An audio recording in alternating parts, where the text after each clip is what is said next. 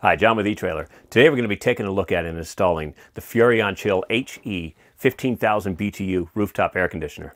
So here's what the unit looks like on the inside of your camper. Look, this is a great option if you're either wanting to add air conditioning to your camper or if you're going to replace the air conditioning on your camper. We have different setups available at eTrailer. If you just want the rooftop unit by itself and you'll reuse, uh, if you have an existing Furrion unit that you want to replace and you just want to replace the upper unit, you can do that. Um, if it was me, I would get the entire kit, at least with the lower air box as well. We also have a kit, um, and that's what we installed today, was it has a thermostat with it as well. So you have uh, your separate controls for your heat and AC. You've got the new rooftop unit and you've got the new uh, lower control here.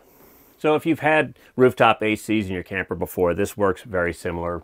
Um, if not, this is how this operates. You're going to have your cold air coming out of here, and you can close these vents here to put maximum airflow to the rest of your camper existing ductwork if you have it. If you don't, then your cold air comes here and then your warm air and the air that it's going to be pulling out of your camper is going to be coming here. This is your washable, reusable filter. It comes out like this. You can see all the connections. We're easy to get to. We have our 120 volts, we have our 12 volts, and we have our thermostat wiring right here. Now, the thermostat that's supplied with the kit um, is, is great. It is backlit um, with the blue backlighting. Uh, you're going to have fans functions. You're going to have high and low fan. You're also going to have a dry mode where it's going to kick the air conditioning on just to remove humidity inside of here. You also have, of course, a cool mode. You can adjust temperature up and down on all of these. And then you also will have your heat mode, which is going to run your furnace.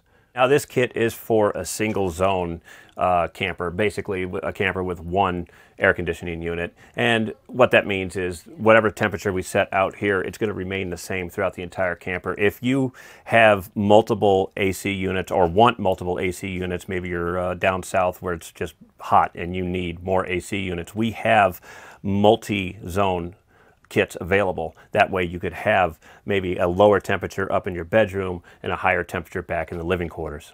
So this is what the unit looks like up on top of your camper. It does have a uh, a full shell on it to keep the parts protected and clean up here. Now, something that uh, you may want to know um, on the website, it's reading as 13 and 9 16ths high.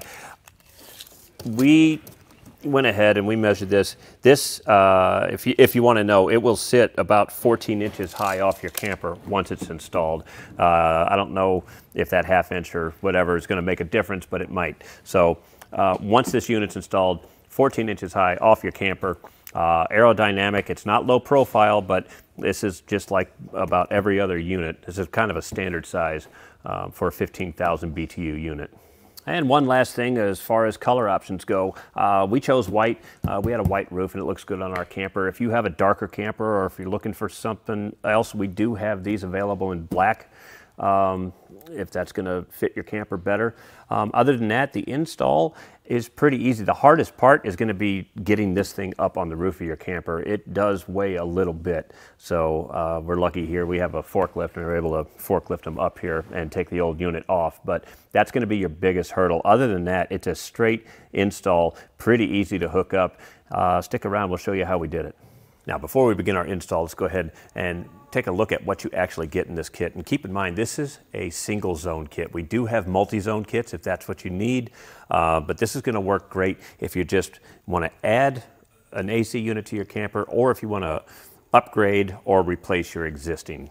So we have the new air plenum or air box they call this. This is the part that's actually inside the camper where you'll adjust your airflow and filter the air. You're gonna have the control box. Now this talks with your thermostat and your AC unit to help keep your camper heated and cooled together. You're going to get a new thermostat, the single zone thermostat. You'll be able to do all of your controls from here, running fans, running heat, running AC. And finally, of course, you've got the big air handler unit right here. It's 15,000 BTU. Now, we've done tests here at eTrailer. These things are performing quite well. You can get up to a 20 degree temperature differential from the outside air temperature. Let's go ahead and get this stuff installed. We're inside the camper now. Of course, before you begin any job like this, you want to verify that the power has been disconnected. Go to your main breaker and shut all the breakers off. Make sure that you have no power to this unit right here. We're going to go ahead and we're going to remove the filter from the air plenum on the inside here.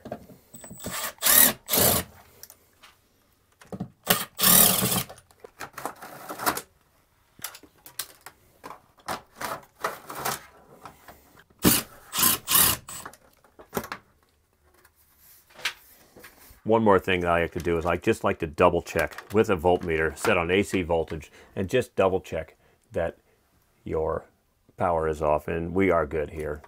Now all I did was disconnected, uh, there's a metal panel that went over this and this is coming from our air conditioner and the hard lines are coming, that was our AC power in. So we're disconnected now and on this particular one we have a strain relief and I'm just going to go ahead and work the wires through to get them out of the power distribution box on our unit. Now everybody's situation is going to be a little bit different with their camper. Right now uh, I'm just separating the wires that come from our camper versus the wires, um, all these wires that would lead up to the to the unit. So I've got the main power wires that are coming from our camper that would go to the unit. Those are disconnected. Um, I'm also going to disconnect these, which are going to be the thermostat wires, and I'm going to disconnect that from the unit. It's a good idea. Um, if you're not sure where everything's going to go right now, snap a picture of these electric lines before you take them apart. That way, if if something gets messed up or if you just need to reference it in the future, you'll have a picture of the way that it, this was originally wired up. I've already taken a picture of this for myself. So I think I've got all the wires disconnected uh, coming from our camper. I'm going to go ahead and I've got four 13 millimeter bolts at least for this application and I'm going to pull this inner plate down.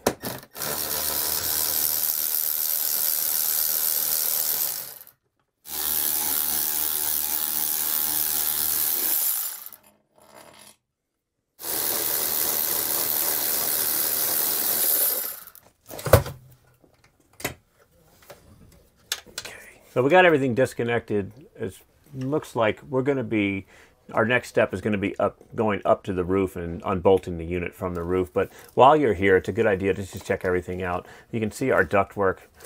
And again, your camper may be different, but inspect the ductwork, make sure everything's sealed on that. You're looking for leaks. This is actually the, the roof of the camper on this box on all four sides. Just inspect the wood, make sure nothing's leaking.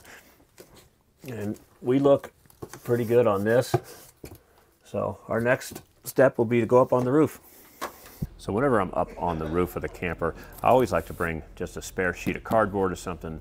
Um, just don't want to poke any holes into the membrane on here. So as far as the air conditioner goes, um, we loosened up everything downstairs and these things might be stuck a little bit, maybe to the rubber from the sun, but for the most part, they should be free and ready to move.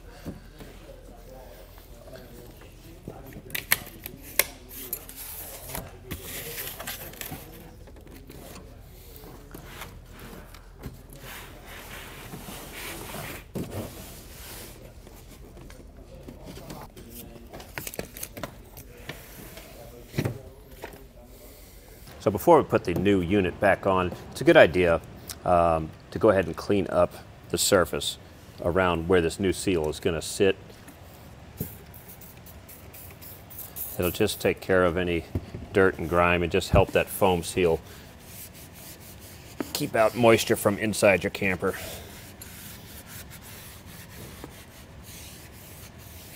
Now you're going to want to know where your foam edge is when you go to set your unit down. You just match it up with the hole on the top of your camper here.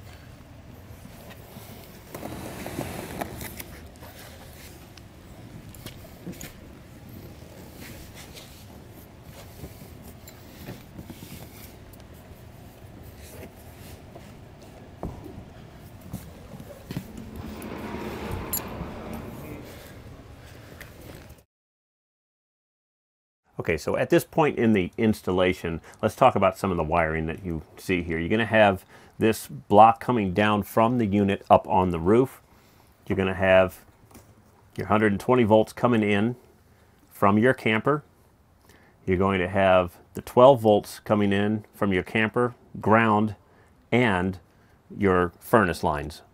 And you if you are replacing a unit that had a thermostat, you'll have your thermostat wires. Now, in our instance here, we're replacing a unit that had an infrared uh, remote control that used it as a thermostat. So we had to actually run thermostat lines. Um, and your camper is just going to be kind of your situation. We ended up having to follow, uh, we used fish tape and we followed from the ceiling fan and then from light to light to light to finally end up at this location right here. The reason we did that was because the manufacturer had to drill through uh, the joists and everything else just to get the electric lines through, and that's what we followed. It worked for us. Your situation may be different, um, but when you're placing your thermostat, just know that it's it's not very big, and you want to keep it away from a from a heat source or uh, anything that could possibly be damaged, such as a slide or a moving part like that. Now in this instance, we just went ahead and used some spare four pole flat wire. This only carries 12 volts, so this is gonna be perfect for this. If you don't have wire laying around, we do have some jacketed wire here at eTrailer that would work great in this instance. It's sold by the foot, so you can kind of measure what you need and then buy what's required for the installation. Before we actually bolt the bottom panel on um, to mount this, I just wanted to show you that these foam blocks, we have one in each corner um, and as we go and take the supplied big bolts here, they're 3 8 inch heads, and when we go and torque, start torquing this down, we're going to start compressing this foam gasket. So what we are looking for is about 9 sixteenths of compression out of this black foam. And what that's going to end up meaning is that these white blocks will be probably even with our roof line. So we're going to tighten these four bolts down uh, a little bit at a time and, and, uniformly as possible. So one thing to note as we put our panel up, we have a this way front. And this needs to point obviously towards the front of the camper. And you want to take all of your wires and run them inside the opening here as you bring this up. All of the wires go inside that opening.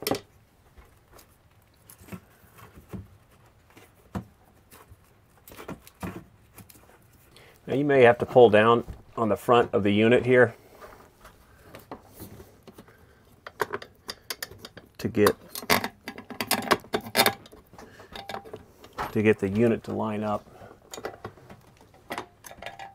We've got the one started. We'll go ahead and see if we can get the other corner.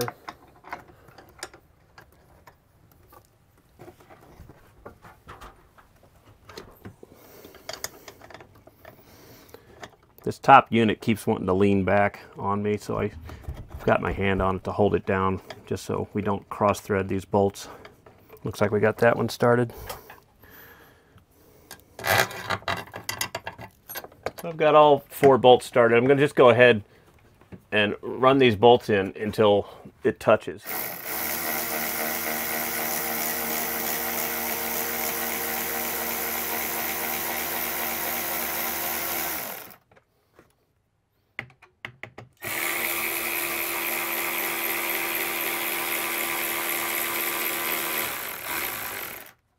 Got all the bolts touching. I'm going to begin tightening them down slowly and I'm just going to do a cross pattern here.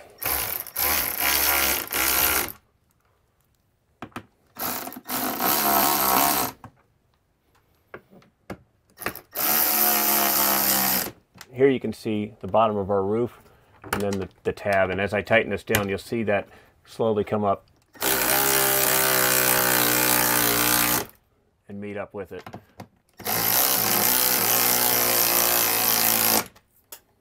So just check each corner and make sure that the bottom of the indicator is at the top of your roof line. And then you'll know that you've got the correct amount of torque on this plate. Okay, we're going to be putting our upper duct divider in next. On this mounting bracket, we've got some we've got a uh, some double-sided tape here. We got to take the backing off of it. At the very top. I barely saw it when it was was on there. It took me a minute to find out what they were talking about. So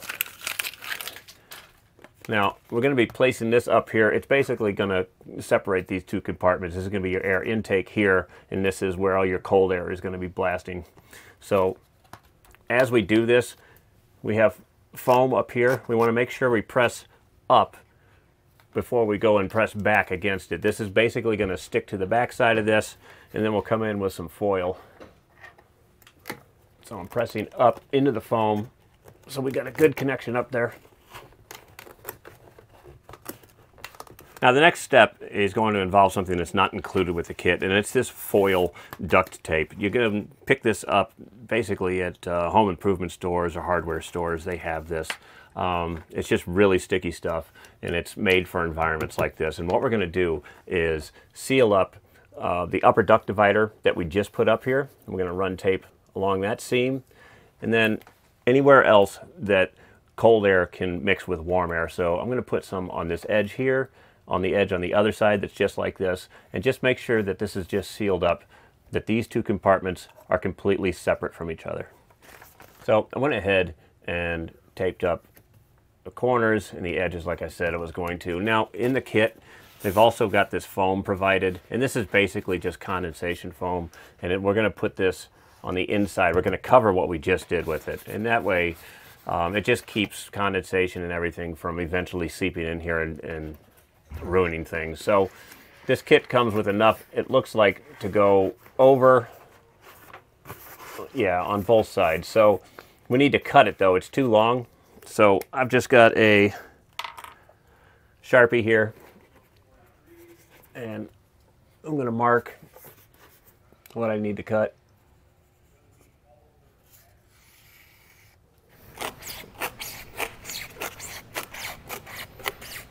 Go ahead peel the backing off here. Set up here first and then peel it off that way.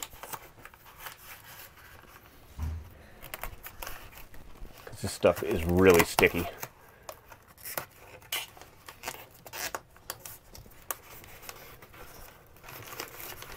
Now we're going to hook up our control box. First thing we need to do is you loosen up the strain relief. This is where our wires are going to go in. So we loosen that up and then took the screw off of this and that'll expose our wires on the inside of here.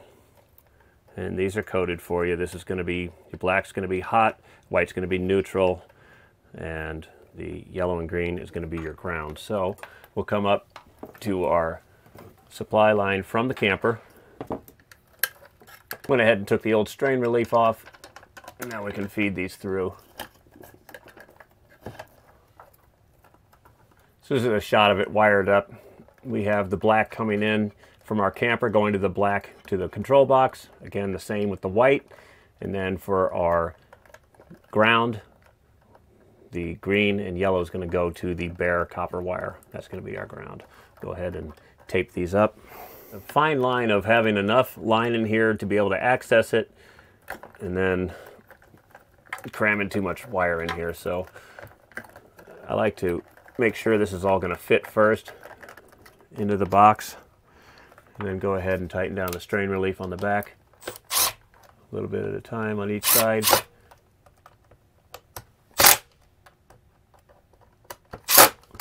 And all that does is it just locks the wire to the box so as we pull it, it won't pull on our connections. And we'll go ahead and replace the cover.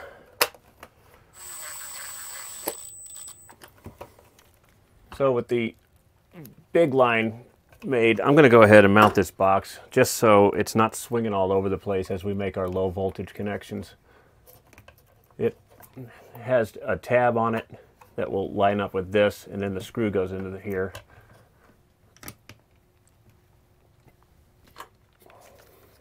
And screws are provided.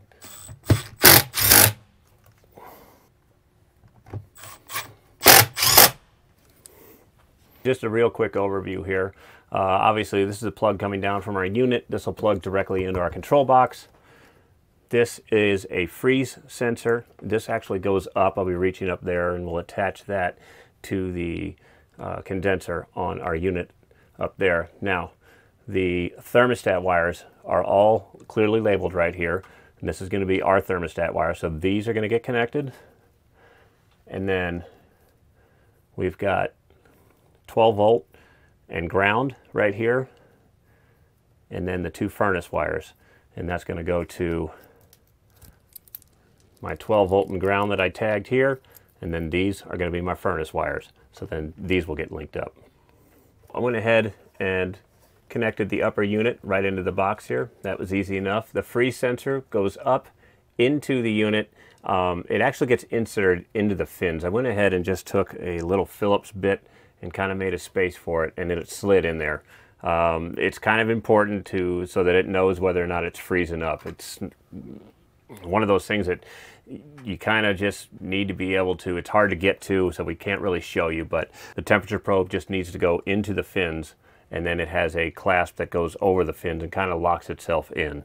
So other than that, we've made our connections here for our thermostat. Your wiring is going to look different. Remember, we didn't have a thermostat. We ran new wiring. So um, I'm going to follow my color codes um, for the thermostat and uh, we'll go ahead and go make those connections now and then we can clean this up later. So we have our thermostat wires coming out of the wall.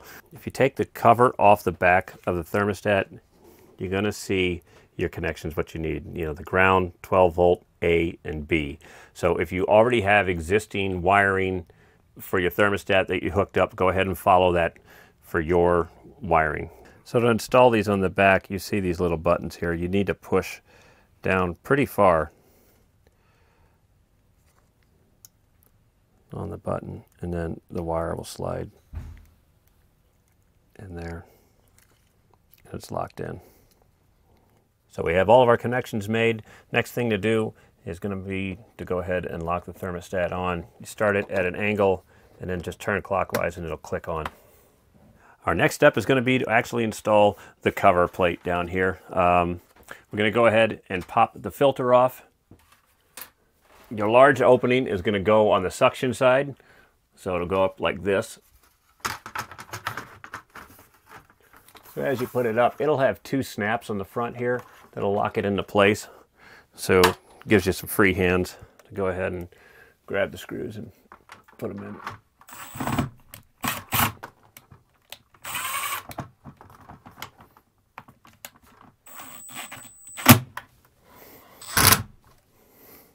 Next we can install the filter. Just kind of snaps into place here. And then included with the kit are some plastic tabs, plastic buttons here. And that'll be used to cover up our screw holes. And that was a look at the Furrion Chill HE 15,000 BTU rooftop air conditioner.